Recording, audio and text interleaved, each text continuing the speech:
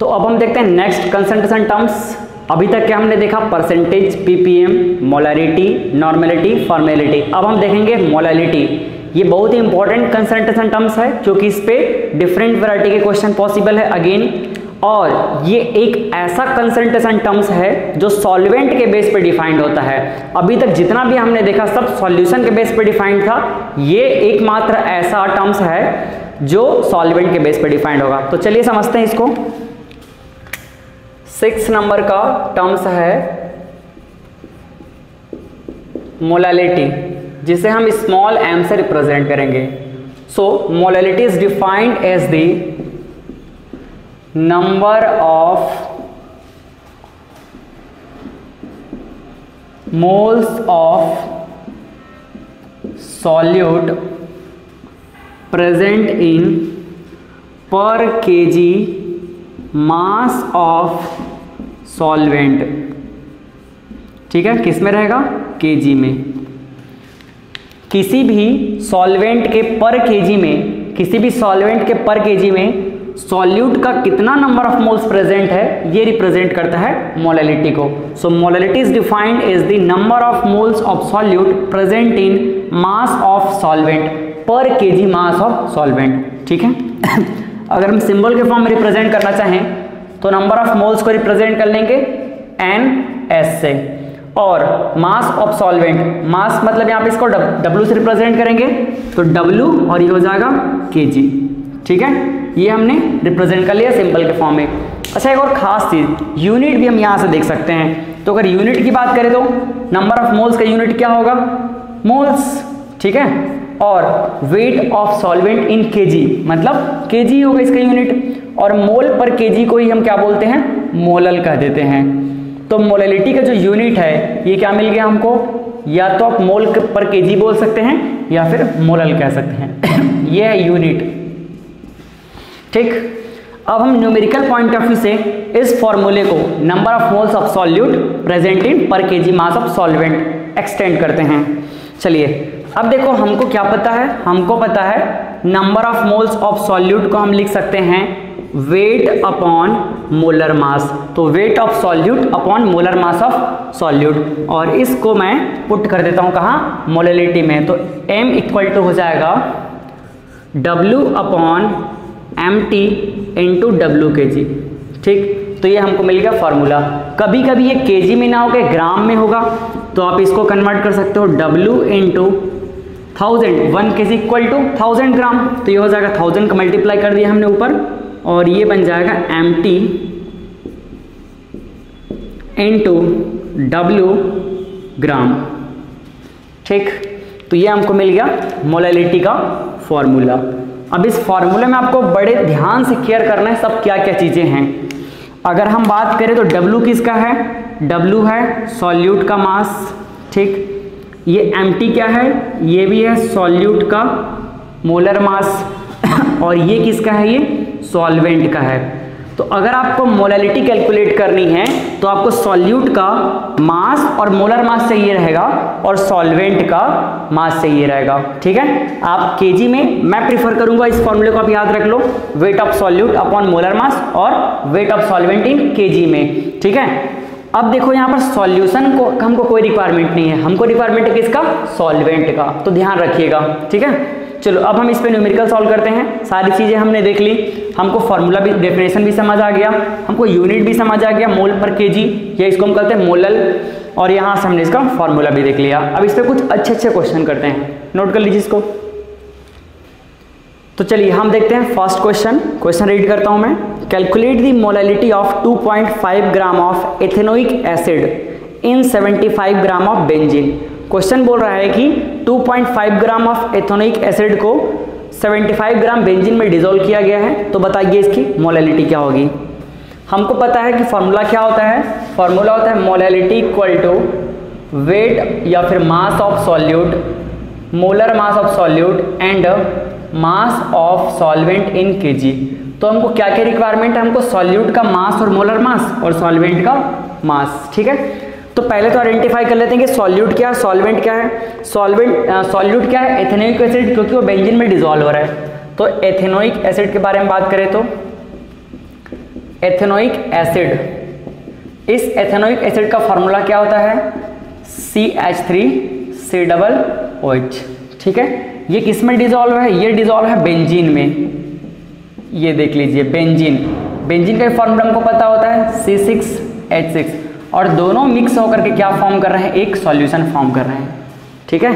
तो आपको क्या चाहिए? आपको चाहिए इस सॉल्यूट का मास और जो कि गिवन है। इसका मास कितना है? W इक्वल टू मास हमारे पास गिवन है 2.5 ग्राम तो ये 2.5 ग्राम ठीक? W मिल गया।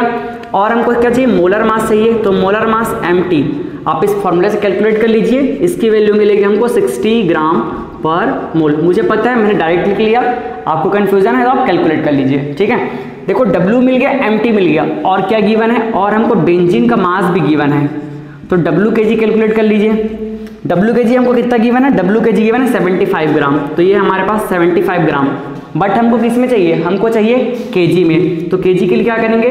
थाउज़ेंड से इसको डिवाइड कर देंगे तो 75 अपॉन थाउज़ेंड और ये हो जाएगा के जी ठीक? मोलैलिटी के फॉर्मूले में सारी वैल्यू पुट कर देते हैं, क्योंकि जो जो हमको चाहिए सब मिल चुका है। तो मोलैलिटी क्या हो जाएगा देखो, m equal to W upon M T into W K G W की वैल्यू कितनी है? 2.5 एम टी कितना है?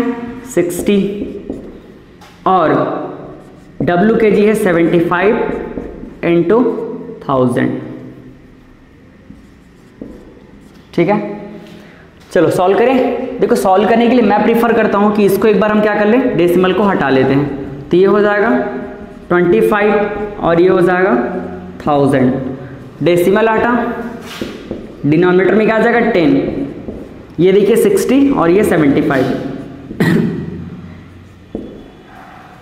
जो जो कैंसिल होता है कैंसिल करना शुरू करते हैं। एक ज़ीरो कैंसिल दो ज़ीरो कैंसिल ये दो ज़ीरो कैंसिल हो गया। ठीक है? अब देखो ट्वेंटी फाइव वन जा twenty five twenty five three जा सेवेंटी फाइव ठीक है? क्या बचा? न्यूमरेटर में बचा टेन और डिनोमिनेटर में क्या बचा? Six into three that is eighteen आप इसको सॉल्व कर लीजिए। इसको और सिंप्लीफाई कर सकते हैं क्या? टू से और कैंसिल हो जाएगा ये। तो टू से और कैंसिल होगा क्या बचेगा ये? टू फाइव जा टेन और टू नाइन जा एटीन मतलब फाइनली क्या हो गया? फाइनली हमारे पास एम इक्वल टू आ गया है फाइव अपॉन नाइन आप इसको सॉल्व कीजिए तो क्या आ जाएगा? पॉइंट में इसकी वैल्यू मिल जाएगी zero point five five six और यूनिट क्या होगा?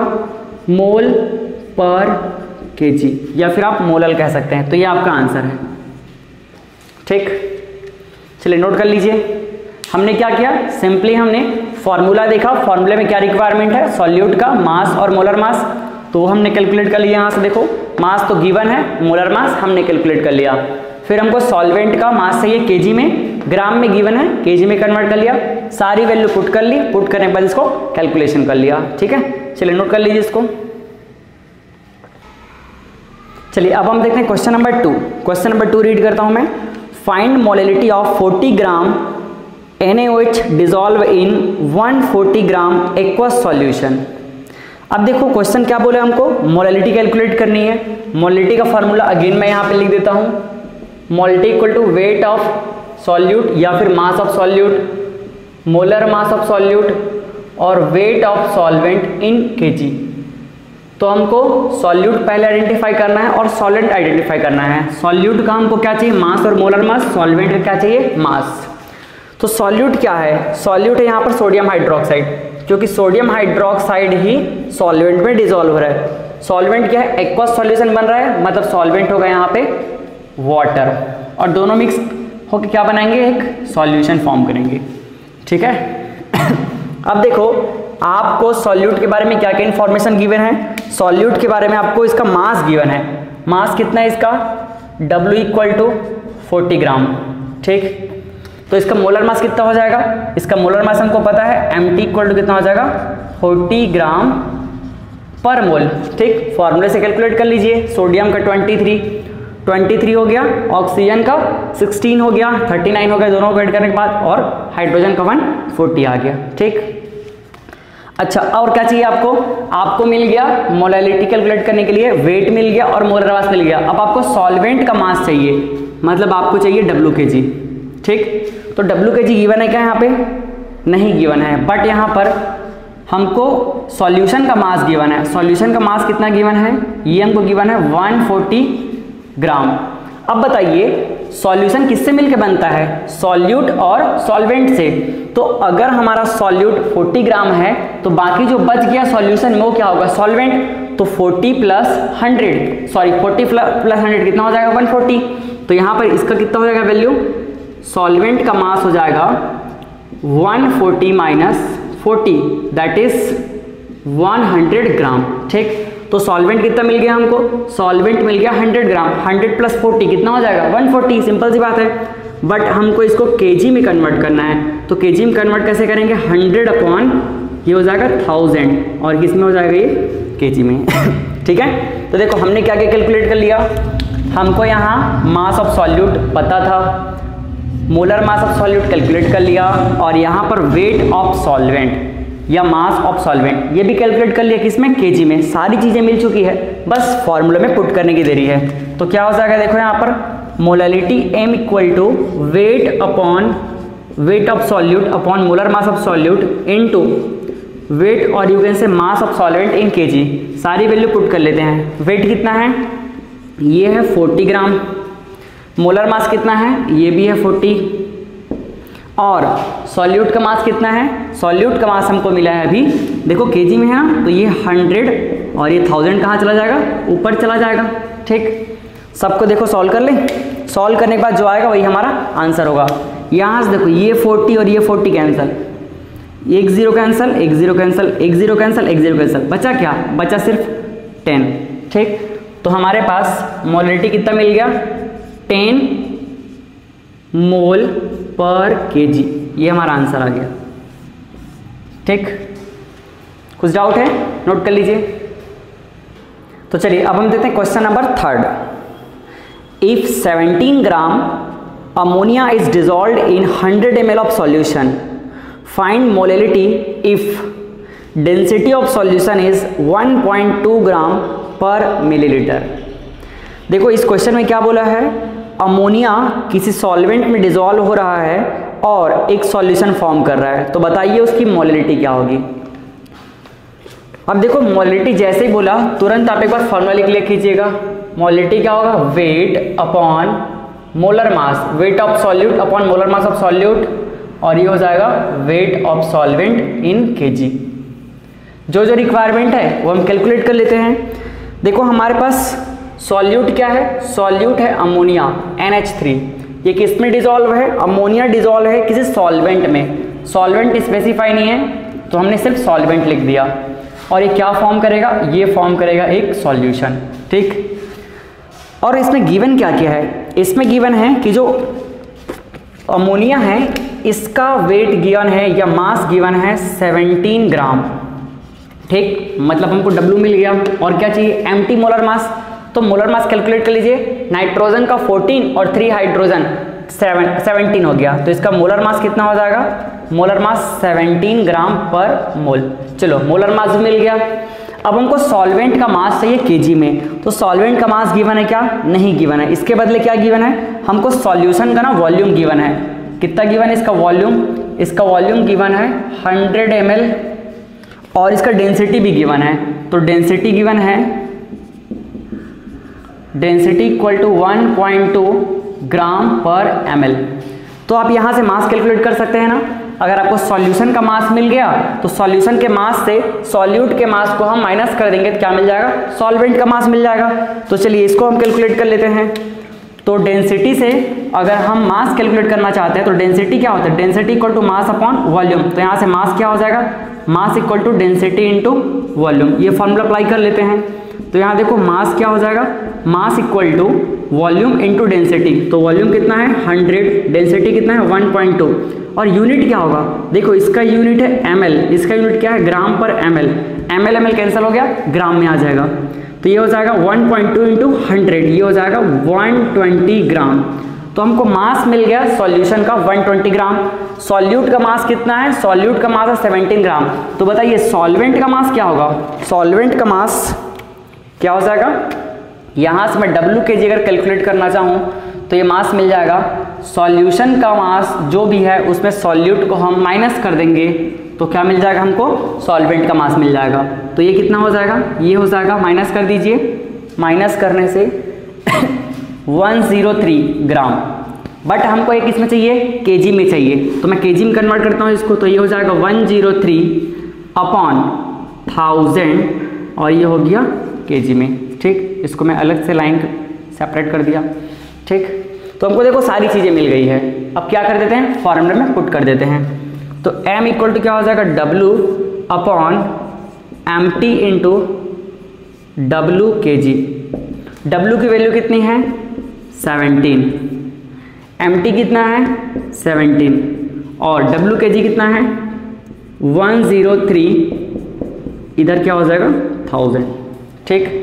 देखो ये 17 17 तो कैंसिल हो गया, यहीं से दिख रहा है। दिख रहा है ना? तो बच क्या गया? Thousand upon one zero three इसको आप डिवाइड कर लीजिएगा। आप डिवाइड करेंगे तो आपको इसकी वैल्यू मिल जाएगी। Molarity M equal to nine point seven zero eight. ठीक, मैंने कैलकुलेट कर लिया है, इसलिए मेरे को पता है। तो आप भी कैलकुलेट कर लीजिए, इसको डिवाइड कर लीजिएगा सिंपली आपको मिल जाएगा। Molarity equal to nine point seven zero eight और इसका यूनिट क्या होगा? यूनिट होगा मोल पर केजी या फिर इसी को हम क्या कह देते हैं? मोलल कह देते हैं। तो ये हमको इस तरह से मिल गई मोलिटी तो अगर आपको डायरेक्टली सॉल्वेंट का मास पता नहीं है, और उसके बदले अगर सॉल्यूशन का वॉल्यूम पता है, और डेंसिटी पता है तो पहले आप सॉल्यूशन का मास कैलकुलेट कर लीजिए। फिर जो भी सॉल्यूट का मास है उसमें माइनस करके हम सॉल्वेंट का मास कैलकुलेट कर सकते हैं। फिर हमारे फॉर्मूले की सारी रिक्वायरमेंट फुलफिल हो गई और इस तरह से हम क्या कर लेंगे? मोलरिटी कैलकुलेट कर लेंगे। ठीक है? तो इस तरह से हमने आसानी से क्वेश्चन को सॉल्व कर लिया। एक क्वेश्चन और देखते हैं। काफ़ी अच्छा क्वेश्चन है वो। तो चलिए नोट कर लीजिए इसको। चलिए क्वेश्चन रीड कर रहा हूँ मैं। Calculate the mass of urea required in making 2.5 kg of 0.25 molal aqueous solution बहुत ही अच्छा क्वेश्चन है ये। थोड़ा फोकस का रिक्वायरमेंट है इस पर देखो क्वेश्चन बोल रहा है कि हम यूरिया को वाटर में डिजोल्व कर रहे हैं और जो सॉल्यूशन बनेगा उसकी मोलिटी कितनी होगी? 0.25 मोलल मतलब मोलिटी गिवन है। 0.25 मोलिटी वाला सॉल्यूशन बनेगा। तो बताइए, जब सॉल्यूशन 2.5 केजी बन जाएगा तब वहाँ पे यूरिया मतलब सॉल्यूट का रिक्वायरमेंट कितना होगा? ठीक है? चलिए सॉल्व करते हैं इसको। क्वेश्चन के अकॉर्डिंग यूरिया जिसका फॉर्मूला होता है NH2CO NH2 ये किसमें डिजोल्व है? ये डिजोल्व है वाटर में। और मिक्स होकर क्या बना रहा है? ये सॉल्यूशन बना रहा है। इस सॉल्यूशन की मोलिटी कितनी है? इसकी मोलिटी गिवन है m equal to zero point two five molal. Molal का बहुत सिंपल सा मतलब होता है zero point two five molal मतलब इसको हम लिख सकते हैं मोल पर केजी। तो यहाँ से हमको एक बात और समझ आ रही है। मोलिटी का मतलब होता है मोल पर केजी मतलब एक केजी सॉल्वेंट में कितना नंबर ऑफ़ मोल प्रेजेंट है? 0.25 ठीक? अब देखो क्वेश्चन आपको पूछ रहा है कि जब आप सॉल्यूशन को 2.5 केजी बना लेंगे 2.5 केजी सॉल्यूशन बनाएँगे तो उस सॉल्यूशन में यूरिया की रिक्वायरमेंट कितनी होगी? तो हमको ना तो इसका कोई वैल्यू गिवन है, ना तो इसका कोई वैल्यू गिवन है। और पूछ रहा है कि 2.5 केजी सॉल्यूशन बनाने के लिए कितने यूरिया की रिक्वायरमेंट होगी? तो पहले आप क्या कर लीजिए, आप यहाँ से सॉल्वेंट का स्टैंडर्ड वैल्यू एज्यूम कर लीजिए। सॉल्वेंट कितना? पर केजी मतलब मैंने यहाँ से एज्यूम कर लिया जो हमारा सॉल्वेंट है वो कितना है? वन के है। ठीक? समझिएगा क्या कर रहा हूँ मैं? ये हमने सॉल्वेंट एज्यूम कर लिया वन के और हमको वन के के करस्पॉन्डिंग इसका वेट कैलकुलेट कर लेना है सबसे पहले। ठीक है? तो इसके लिए हमको मोलर मास की रिक्वायरमेंट पड़ेगी। तो मोलर मास कितना होगा? मोलर मास फॉर्मूला सब कैलकुलेट कर लीजिएगा। 60 ग्राम पर मोल ये भी हमको मिल गया। अब आपको करना क्या है? सिंपली फॉर्मूला अप्लाई करना है और ये देखना है कि वन की जिस सॉल्वेंट ले रहे हैं तो इतनी मोलिटी वाली सॉल्यूशन बनाने के लिए कितने यूरिया की रिक्वायरमेंट है। ठीक है? चलो देखो यहाँ पे क्या हो जाएगा? मोलिटी का फॉर्मूला क्या होता है? Molality equal to W upon M T into W K G ठीक है? आराम से देखते रहिए। बहुत ही मज़ा है क्वेश्चन को सॉल्व करने के बाद आपको। यहाँ पे देखो वेट निकाल लीजिए तो क्या हो जाएगा? W और सारे को इधर ट्रांसफ़र कर दो. M into M T into ये हो गया डब्ल्यू के जी ठीक?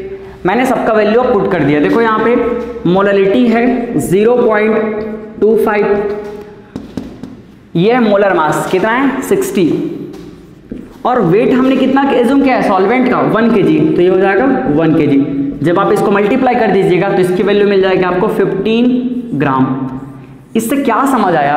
इससे ये समझ आया कि हम 0.25 मोलिटी वाला सॉल्यूशन बनाने के लिए अगर 1 के वेट लेते हैं तो उसमें 15 ग्राम हमको क्या चाहिए? 15 ग्राम हमको सॉल्यूट चाहिए मतलब यूरिया चाहिए। ठीक है? इससे अगर आप सॉल्यूशन का अमाउंट कैलकुलेट करना चाहो तो सॉल्यूशन कितना हो जाएगा? देखो, मास ऑफ़ सॉल्यूशन। तो मास ऑफ़ सॉल्यूशन कैसे कैलकुलेट कर लेंगे आप? सॉल्यूट का मास मतलब W प्लस डब्लू के जी तो W कितना है अभी?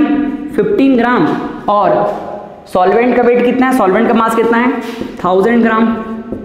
मतलब क्या समझ आया यहाँ से? यहाँ से ये समझ आया, हमको 0.25 मोलिटी वाला सॉल्यूशन बनाना है। तो 15 ग्राम हमको क्या मिला है? सॉल्यूट मिला है। और सॉल्वेंट हमने कितना लिया था? 1000 ग्राम। यानी कि इसको अगर मैं केजी में कन्वर्ट कर दूँ तो क्या हो जाएगा? केजी में कन्वर्ट करूँगा तो ये हो जाएगा वन पॉइंट थाउज़ेंड से डिवाइड कर दो, one point zero one five K G ठीक? अब देखो, मैं जो स्टेटमेंट अब बोलूँगा, ये बड़ा काम का चीज़ है। इससे ये समझ आया कि 1.015 kg ऑफ़ सॉल्यूशन कितना यूरिया कंटेन करता है? 15 ग्राम ऑफ़ यूरिया। ये बात समझ आई कि नहीं? जो 1.015 ग्राम ऑफ़ सॉल्यूशन है, इसमें कितना यूरिया मिक्स है? 15 ग्राम तो आपको क्वेश्चन पूछा है कि जब आप 2.5 KG 2.5 kg of solution form करेंगे तो उसमें कितना यूरिया होगा? तो हमने पहले इसको क्यों कैलकुलेट के समझा है ना? क्योंकि हमको मोरलिटी पता है। इतनी ही मोरलिटी वाली हमको क्या बनानी है? सॉल्यूशन तो जब हमने देखा कि 1 के जी सॉल्वेंट लिया तो 15 ग्राम हमको सॉल्यूट मिला और दोनों को हमने मिक्स कर दिया तो क्या बना? 1.015 केजी सॉल्यूशन मिला। मतलब 1.015 केजी जो सॉल्यूशन है, वो कितने यूरिया को मिक्स करने से बना है? 15 ग्राम यूरिया हो। तो आपको क्या कैलकुलेट करना है? आपको कैलकुलेट करना है जो सॉल्यूशन के 2.5 केजी 2.5 केजी सॉल्यूशन में कितना यूरिया होगा? तो आप यहाँ से कैलकुलेट कर लीजिए। हम एज्यूम कर लेते हैं कि 1 KG of solution 1 KG of solution में कितना यूरिया होगा? इसको ट्रांसफ़र कर दिया मैं इधर। तो देखो 15 अपॉन 1.015 ग्राम ऑफ़ यूरिया होगा। तो फाइनली हमको चाहिए 2.5 gram sorry 2.5 KG of solution में कितना यूरिया प्रेजेंट होगा? तो 2.5 का मल्टीप्लाई कर दीजिए। क्या आ जाएगा? 2.5 point five into fifteen upon one point zero one five gram of urea. ठीक? आप इसको सॉल्व कर लीजिए। सॉल्व करने में आपको वैल्यू मिल जाएगा। तो ये जो वैल्यू आएगा, ये वैल्यू होगा कितना? ये वैल्यू होगा 36.94 ग्राम ऑफ़ यूरिया। समझ आया? मतलब अगर हमको क्या बनाना है? अगर हमको 2.5 point five K ji of solution form करना है, जिसकी मोलिटी क्या होनी चाहिए? 0.25 मोलल होनी चाहिए। तो उसमें यूरिया कितना प्रेजेंट होगा? उसमें यूरिया प्रेजेंट होगा 36.94 ग्राम यूरिया कभी कभी अप्रोक्सीमेटली 37 भी ले लिया जाता है तो कोई मैटर नहीं करता, है ना? इसको हम अप्रोक्सीमेटली 37 भी लिख सकते हैं। क्लियर है? समझ आ गया ना? ठीक है। चलो नोट कर लो इसको।